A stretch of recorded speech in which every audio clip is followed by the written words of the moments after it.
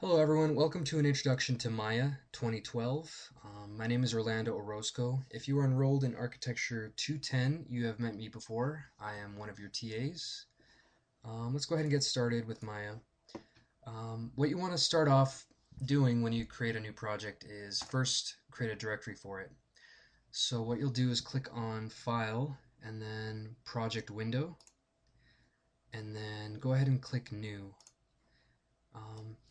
Let's go ahead and call this directory Artist House since that's what most of you are working on. And I'll just put my name here so that there's less confusion. And after you create a name, go ahead and pick a location for your directory. In this case, uh, let's go to ARC210. And actually, all you have to do is select it.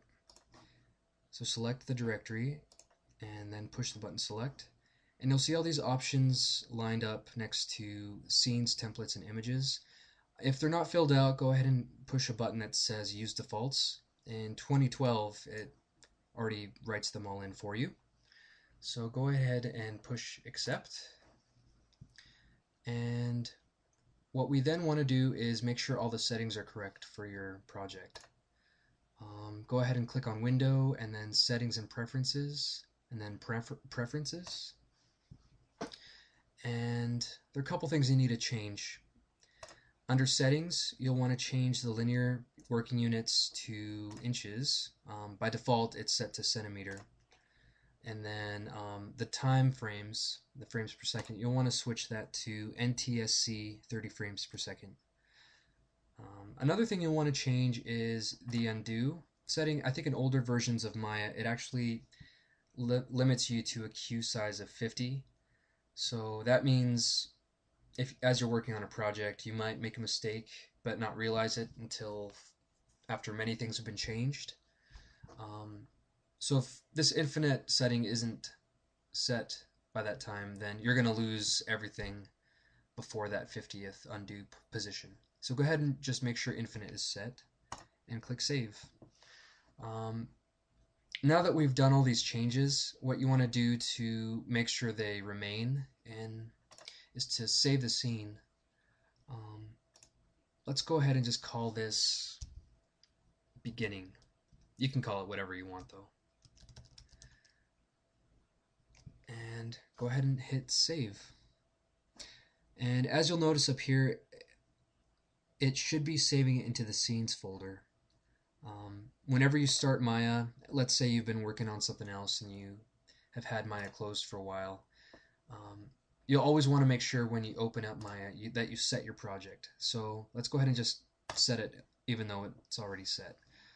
Um, so you might see all your folders here and just go ahead and find the directory we created earlier and just select it and then hit set.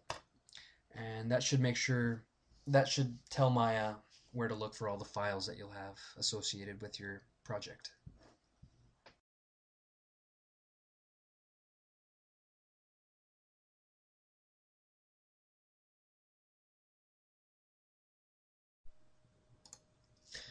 Now that we've created our main directory, let's go ahead and add an image to the source images folder. Um, I've already created a 2D view of a just a bogus house I designed for fun one day. Um, it's in a separate folder, so for now I'm just going to select it and then copy it. And then we'll find our project directory. And then find your source images folder and double click it. And go ahead and just paste it in. When you're in Maya, um, there are certain views you can have. Right now we are in the perspective view, but if you just tap the spacebar, it'll take you to all your other available views. Um, so for now, let's just go to the front view. And so what you'll want to do is place your mouse cursor over where it says front and then just tap it again. And that'll expand the view so that that's the only one you see. Um, let's go ahead and zoom out. What we're going to do is import that image we just transferred and we're going to use it as a guide to start the modeling process. So click on File and then, I'm sorry, no, go to View within this little View panel, and go to Image Plane and Import Image. Now you'll see right away that you saw, or that um, the image we transferred to our directory is there now. So go ahead and select it. There it is, it shows up. And click Open. Although you may not want to model your actual building by using um, flattened planes exported from other programs like this, it can be rather cumbersome. Um, let's say you're trying to create a special object that you want to place into your building that maybe um, wasn't created in Revit, for instance. Um, it could be a vase or it could be a special chair. Um, you can model it yourself and reference um, an image behind it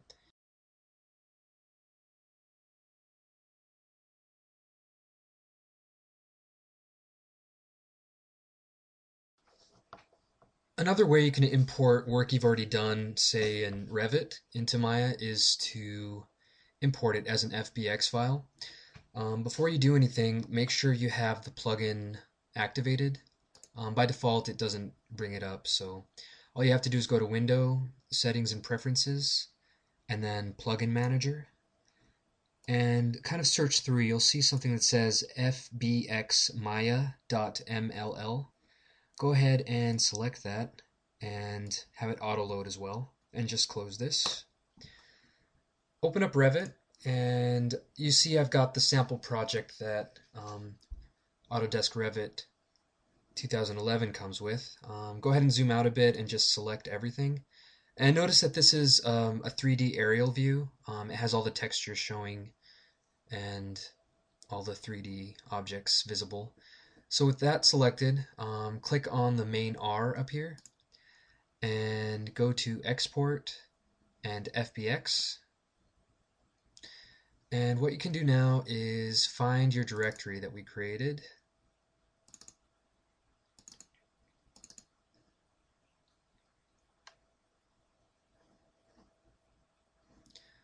I'll just go ahead and put this under source images and I'll create a new folder and I'll just rename it Revit source for now. Okay, so just go inside that folder and give it a let's give it a cleaner name. How about sloped house. And click save. Might take a little while.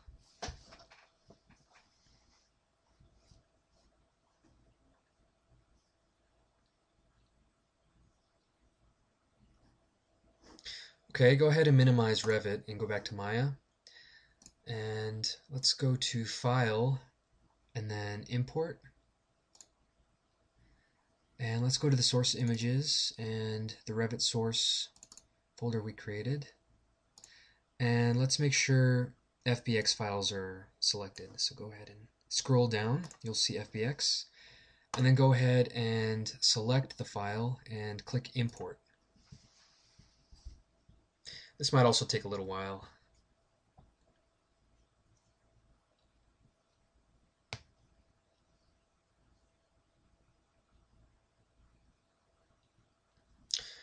Okay, so let's go ahead and zoom out. Since everything's scaled to inches, it's going to be appropriate.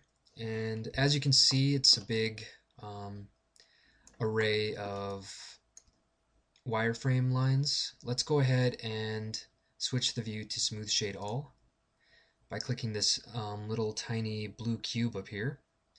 And you can also activate textures by clicking this button. Let's go ahead and do that. But as you can see, none of the textures exported over into Maya. There's some incompat incompatibility issues. In a later step, I'll show you how to create textures and apply them to these shapes that are now imported into Maya, um, as well as show you some modeling techniques. Um, as you can see, a lot of these faces are triangulated, So making any changes might be a little bit problematic given that um, a lot of the points don't quite line up. But let's go ahead and save our file for now. Um, let's save the scene as, and let's call this Revit import 1 and save. And it should say student version file and give you a little warning every time you save. Go ahead and just ignore that and hit continue. And let's go ahead and create a new scene.